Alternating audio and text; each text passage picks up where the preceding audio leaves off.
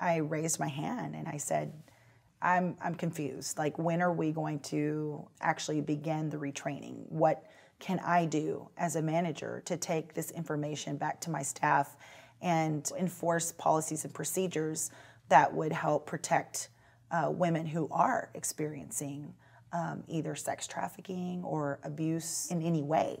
And she immediately, you know, shot me down and she said, We're not here to talk about that, Ramona. We're here to teach you how to identify if you're being videotaped or recorded or entrapped in any way.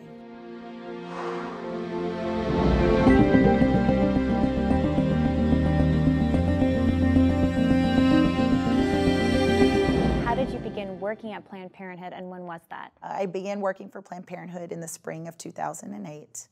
And it really started with a phone call from a former coworker of mine. We, the both of us, used to work for the WIC program, which is the Women, Infants, and Children's Nutrition Program. She began working for Planned Parenthood first, and then found out that there was an opening in the Sherman location in Texas.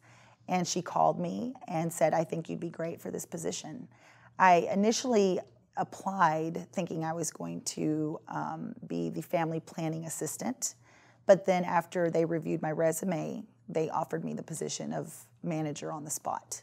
Um, I was very excited for that opportunity, so I jumped at it. How did you view Planned Parenthood at that time? Well, I think it's important for people to, to remember that I did not work at an abortion facility. So, you know, starting working for them, I, in my mind, it's just you know an affordable gynecologist somewhere where low income women uh, receive the same services as they do at any gynecologist's office. Can you describe once you started working there how that view may have changed or it developed once you actually started to manage the facility? You know it's funny the view changed during the time in which i was doing the interview process I, I went in thinking and having one perception about Planned Parenthood and what my position would entail as a manager of a non abortion facility. But once we started talking through the, eh, you know, during the interview about uh, what my views were on abortion or Plan B, for example, I realized that I didn't know a lot about this subject matter uh, for example, asking about Plan B. I didn't even know what emergency contraception was. So I kind of just fumbled my way through the answer because I was more focused on getting the job. So that forced me to start thinking and contemplating what am I going to uh, face once I start working here? And am I really going to have to confront the issue of abortion head on? And in my mind, I really thought I wasn't, I wouldn't have to um, that quickly changed after uh, just a, maybe just a few months of working there and having to offer the first abortion referral. Do you remember the first time you referred for an abortion? Can you tell us what, what that was like? I can. I still remember um, the face of the young lady. I still remember the situation. I still remember exactly everything, all the details of that very first abortion referral. I think because that's the moment that I really began to rationalize what I was doing and make justifications for my job. And I really had to face and confront something that was very, um, that was a conflict for me personally. Uh, this, this young woman, she was a college age student. Uh, she came in and, and, you know, I think she had taken a pregnancy test at home. She wanted to confirm with us. And I was still new, so I had failed to see that on her form she requested information for, for abortion. Uh, I congratulated her on her pregnancy, and she began to just weep. And that's when I realized my mistake that I had failed to see that she was asking for um, an abortion referral. I began to backpedal immediately and, and thought to myself, how am I going to get myself out of this? Because at that moment, it became a moral conflict for me. So when I was confronted with that moment, uh, I, I, had a choice to make uh, either take a stand for life or to uh, start to rationalize, justify so that I could keep my job. Ultimately, I, um, I gave her the referral and she left in tears. And I went back into my office and closed the door and began to cry.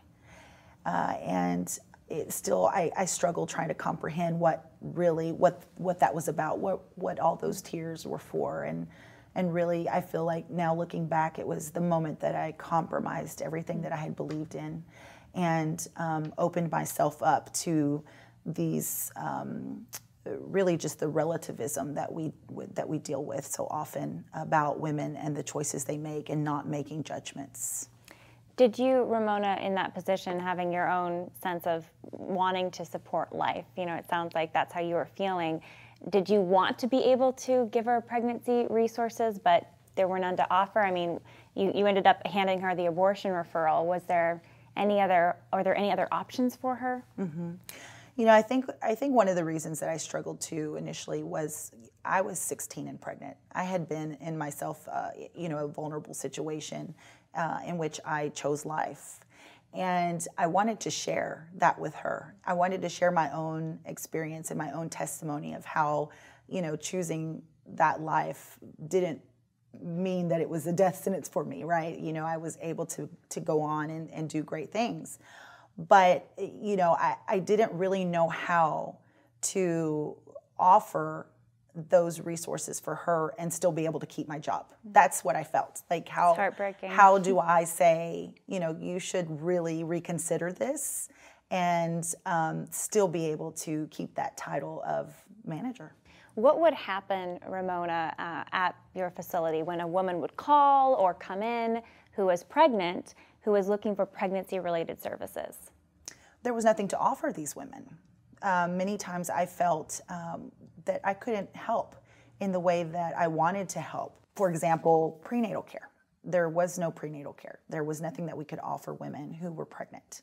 Uh, there was nothing that we could offer for women seeking fertility treatments or trying to who were trying to conceive.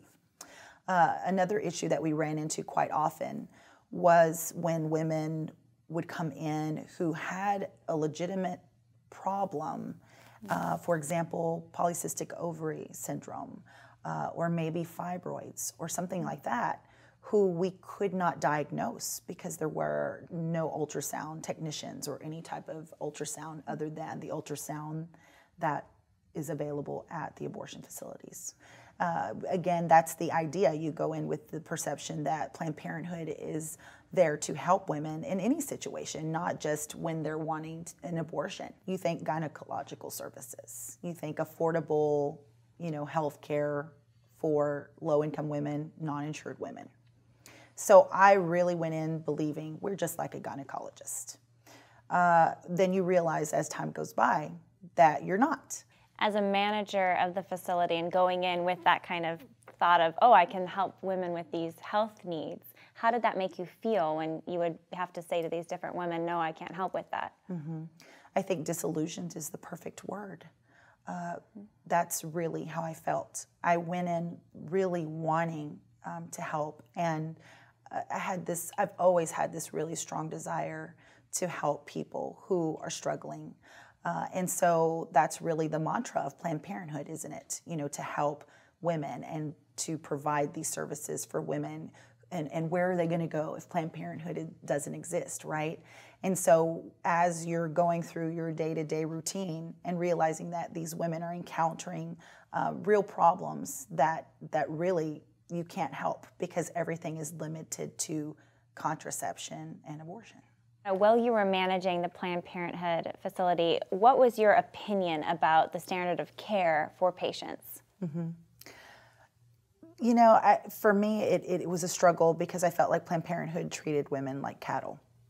Uh, it became more evident over time in the way in which our um, interim CEO came in and changed the way in which we scheduled our patients. Uh, it, there was a meeting once in which we talked about switching over to the new scheduling software and reducing the amount of time that we saw our uh, what we called initial patients, which were new patients. Oftentimes, these new patients were, were minors. And part of our policy for minors is that we spent more time and we had a different set of health uh, questions for them, a separate um, you know, form that they filled out. So for me, even being a mom of, of two you know, young girls, uh, it, it, just it was just a conflict to see us go from maybe spending 30 minutes to now 15 minutes with these young girls. And the idea behind this, of course, was to pack the schedule to get um, more people in and more people out. And for me, that was just um, unacceptable. You mentioned, Ramona, that Planned Parenthood cut the time spent with clients from 30 minutes to 15 minutes during your time there. Why did that happen? We were under a great deal of pressure to meet both clinic revenue and patient quota. So, you know, obviously, if you can reduce the amount of time that we're spending with our patients, then we can have more room to fill the schedule. Uh, that was very troublesome because when you're dealing with an initial patient, most often minor patients, uh, and that time is reduced, you don't have as, as long of, um, of that one on one with the patient to discuss different birth control options. And not only are you not discussing the options, but once the option is made, if she wants, you know, oral contraception or Depo-Provera, for example, to be able to discuss a how those function, how they work, and to educate them on how to actually use those um, methods of contraception. How did that impact care with minors, especially you, you know young girls coming in? Maybe the parents aren't even aware who you're prescribing, say, birth control to. How did that impact them? Um, you know, it's it's hard to say, you know, what the fallout was and what the result was of that. But I know that just even as a on a clinical level, it just seems unethical to not spend that time with your patient and provide the proper care and explanation um, for something as serious as birth control. Because we know that if birth control, especially oral contraceptions, if they're not taken properly, then the effectiveness of those oral contraceptions go down. And if that happens, then of course, naturally, a, a young girl can become pregnant, um, and the next option for her is abortion. You've shared before about a conflict you had with a supervisor about referring to a pro life pregnancy care center. Can you share more about that story? Mm-hmm. When I began working for Planned Parenthood, apparently um, the former manager that worked there before I got there was referring women to um, the local pregnancy care center. Uh, there was a phone number and an address in the Rolodex with their information on it.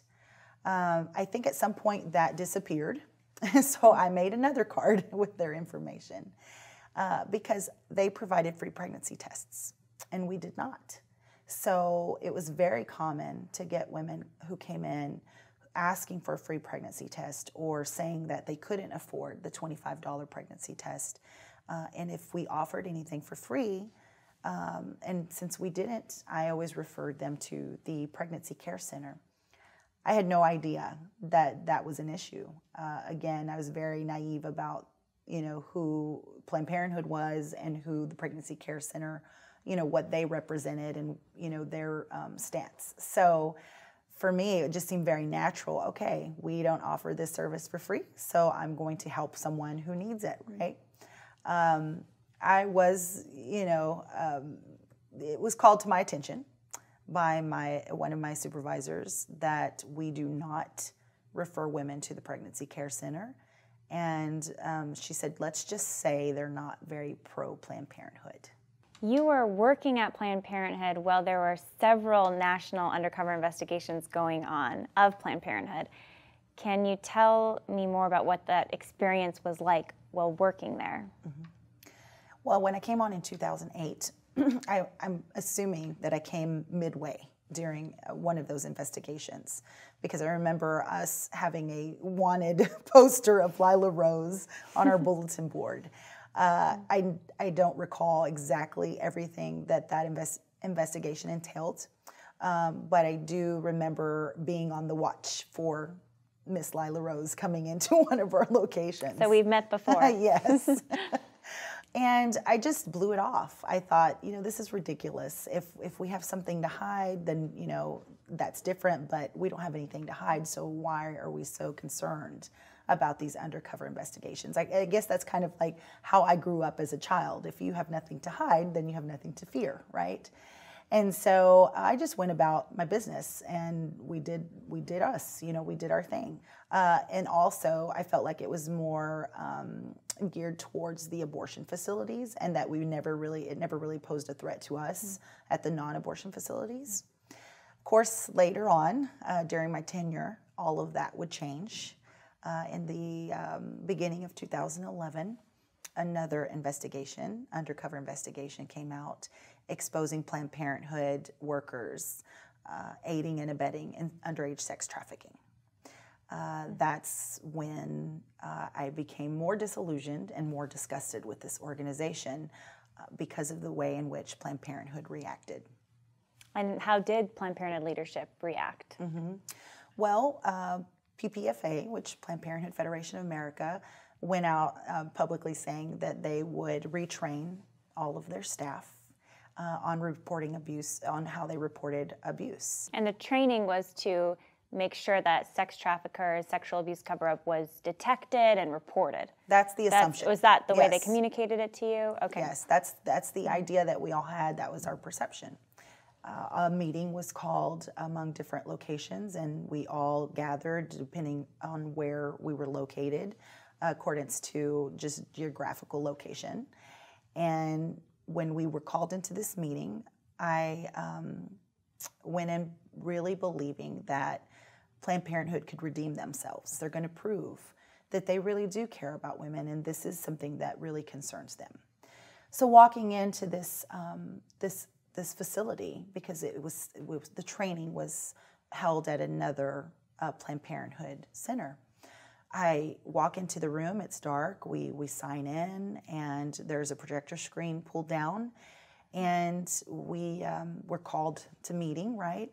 And they begin to play all of the previous undercover investigations that had been um, put out, you know, about Planned Parenthood. They were playing recordings of people who had called in uh, to Planned Parenthood, for example, saying, uh, asking the question, if I donate money, can you um, guarantee or assure me that this money will go specifically toward aborting an African American baby. Uh, and so just different things like that, different scenarios. And I became very perplexed. I thought, you know, what's going on here? You know, how, you know, I kind of, I guess, you know, one looks at their watch and thinks, okay, when are we going to really get to the important issue, right?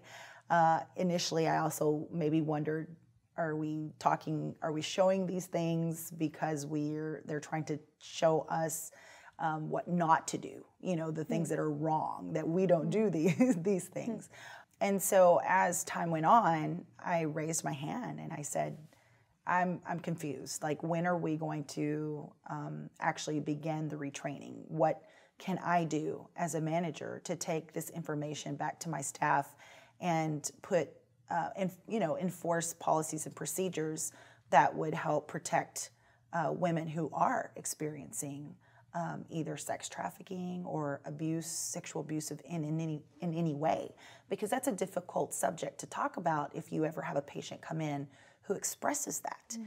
And so I really wanted to know how we dealt with that. And she immediately, you know, shot me down and she said, We're not here to talk about that, Ramona. We are here to teach you how to identify if you're being videotaped or recorded or entrapped in any way. At that moment, my heart just sunk. I was completely filled with disgust. Uh, I know I use the word disillusioned often, and that's the best word that I can use. Um, but at that point, my disillusionment turned into just pure disgust. I couldn't believe what I was hearing. I couldn't believe that we were actually um, there to to train on how to identify if we're being recorded. Uh, again, it goes back to why do do we have something to hide? Why why is this an issue for us? That experience for me left me so disgusted that I couldn't see how Planned Parenthood could ever redeem themselves after that. At the retraining or shortly after, did you get a sense for how other Planned Parenthood workers felt about the retraining to identify investigators instead of retraining to identify actual traffickers or abuse? Mm-hmm. You know, as I looked around the room, I wondered, am I the only one who's feeling this way? Am I the only one who's reacting this way?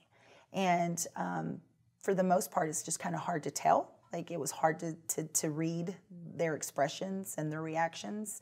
Some of them, as they watched these videos, these undercover videos, they would scoff and they would laugh and they would mock you know the the investigators. Um, it was funny to them. It was just it was for them it was just kind of like oh, these people are crazy right? And um, almost just in support of the employee the planned parenthood employees but then i would kind of look at some of the others and they seemed like they were kind of perplexed by it as well um, but never did i you know communicate with any of them or pick up the phone and say hey you know what do you think about this um, now, my coworker, one of my coworkers, she actually rode with me in my car to mm. the trip, the retraining, and um, she did. She did discuss with me on the way back how she also was very disgusted and disillusioned, and she couldn't believe what had just happened. For people who may still be working at Planned Parenthood and maybe feeling disillusioned or feeling not at peace with what they're doing, what would you say to them?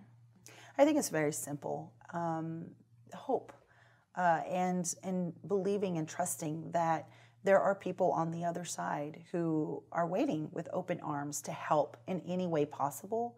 Uh, that they don't have to feel like they're stuck there, and that eventually things will work out and they can move on and be happy. Ramona, it's been five years now since you left Planned Parenthood. How has your life changed? We lost so much um, when I made the decision to leave Planned Parenthood and um, especially material, materially speaking, we lost so much. Um, but we gained um, the, the world, like we gained eternity, right, as a family, because we shifted in our way of thinking and in our growth as far as um, our faith. Um, our faith journey has been incredible. Um, but most especially, I look at our two youngest children. Um, Philip and Ramaya, who are four and 16 months. Uh, Philip is who I call my conversion baby, but really we could say that both of them are our mm. conversion babies. And it's hard to look at their faces. Um, it's really hard to say, to talk about it without crying, um, to think about our two little ones who possibly would not be here today had I still been working at Planned Parenthood because I was closed to having um, more children. My husband and I were not open to having more kids.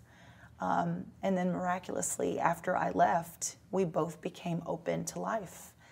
And so every time I look at them, I think this is these are my kids. These I can't imagine my world, um, a world without them. Those are beautiful kids too. Thank you. Got to see a picture earlier, and they're they're gorgeous. Thank you. Thank you so much, Ramona, for your time here and so grateful for your courage and your witness. Thank you. Thank you so much. It's been a pleasure.